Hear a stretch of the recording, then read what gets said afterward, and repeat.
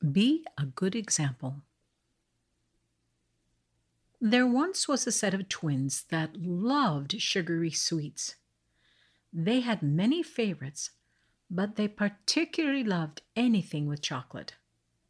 Often they would take their allowance and go to the local convenience store. It was close to home, and they had the very best selection of sweets. The manager, who knew them well, greeted them by name when they came in. Hey, Jenny. Hey, Jeremy. What we have today? I want chocolate dipped gummy bears today, said Jenny.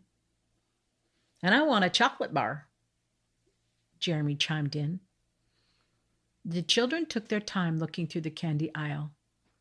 Once they had made their choices, they went to the register and handed the manager their money. Exact change. You guys are getting good at your math. Are you studying?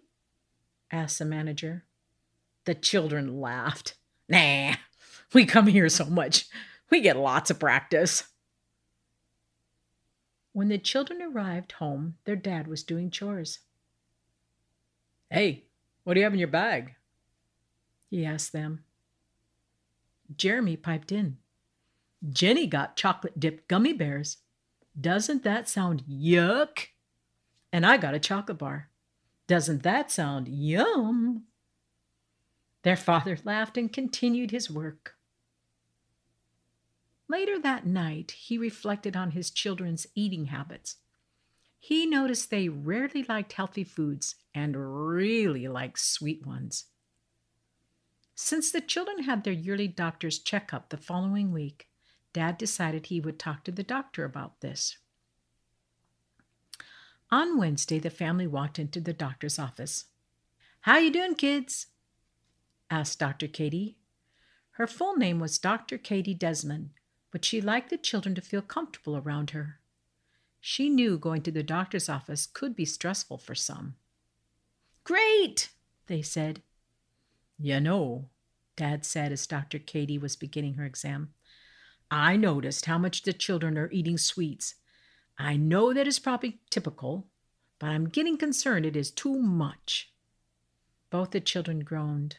Oh, Dad. How often do you eat them? Dr. Katie asked the children. Jeremy shrugged his shoulders. I don't know. Not that much. Jenny sighed. Well, kind of. We do eat them every day and sometimes a couple of times a day. When we get our allowance, we like to go to the store near our house and buy candy.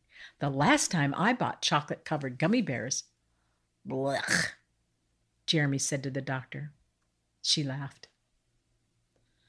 Dr. Katie told the children the importance of eating all kinds of foods, not just the sweet things.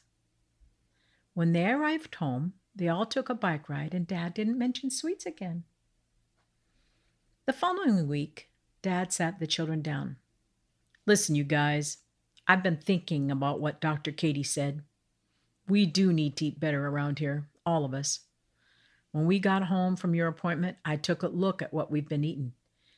I looked through the cupboards, fridge, and freezer. Too much junk food. Why are you telling us now? asked Jeremy.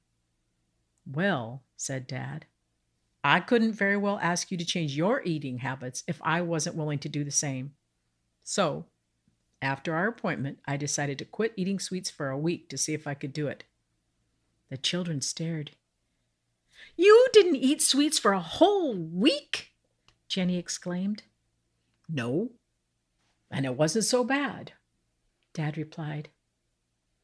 But, Dad, you want us to not eat sugar? Jeremy whined. No, you can have some, but not every day. Now let's make a plan. So the three of them sat down and made a healthy eating plan that all could agree upon. And yes, it did include sweets once in a while. The end.